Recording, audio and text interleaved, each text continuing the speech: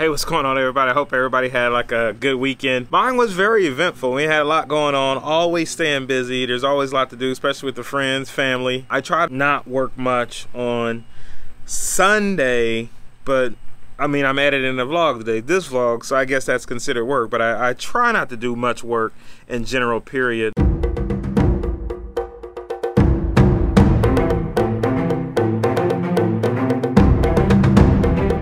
Elevating the outdoor living. Uh, last week is really nice. Picked up a new client out in Connecticut uh, through route of Boston. So uh, my friends and family were teasing me about the, the airplane thing. They said the vlog was more about the plane than it was about the work. Hey, it is what it is. I, I like the design and I like to travel too. So whenever I get a shot to show all that, I'll show all that. It's what I like. It's who I am.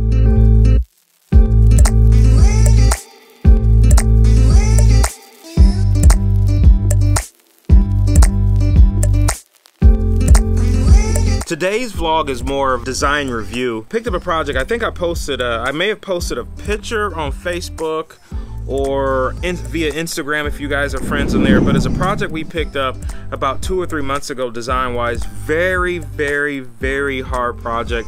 And the reason why I say it's hard because it's a log cabin home for they're actually taking the home and they're going to turn it to like more of a re resort style Airbnb so where friends, families and people like that could come together as a group and rent it out and it's more like a resort style setting so it has a swimming pool, the outdoor space and, and here's here's the catch to the whole log cabin home.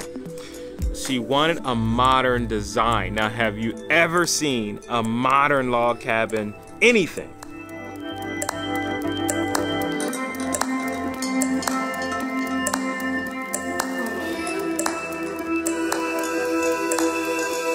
Because of this modern log cabin style, it created a real big struggle of coming up with a design concept. I mean, a serious struggle. There was just some, some sometimes where I just couldn't design. I would just sit and stare at it for hours. I would turn on design software and just kind of look at the whole thing and figure it out. And I slowly, slowly, slowly start coming up with the structure. One thing that you got to understand about modern, the word modern is style, modern architecture, modern design. It's a lot of square rectangles. When you see you see square angles and round stuff, you're looking at more contemporary, and contemporary is sort of the architecture of now, sort of what you're seeing now. So you can see, so a lot of people kind of mix modern and contemporary together as one. The neat part about this project is the yard slopes up the hill. So I was able to, to create a negative edge swimming pool, or reverse negative edge, which is like an infinity.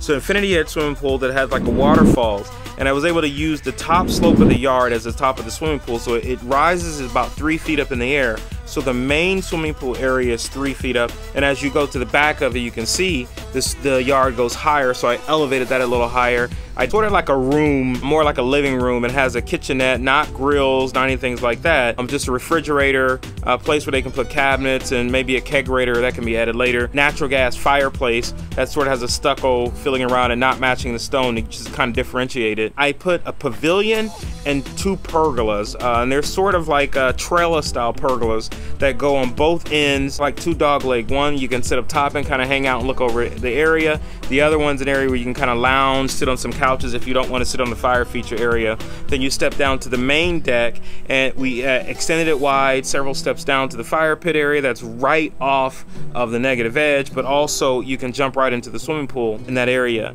The project is more rectangle, the total project is rectangle, but the yard is not. It's like around trees and everything around it. So I had to soften it up with some plantings that kind of go into those areas with more uh, low-lying plantings that can handle low shade like um, hosta, ferns, things like that was implemented inside of this design.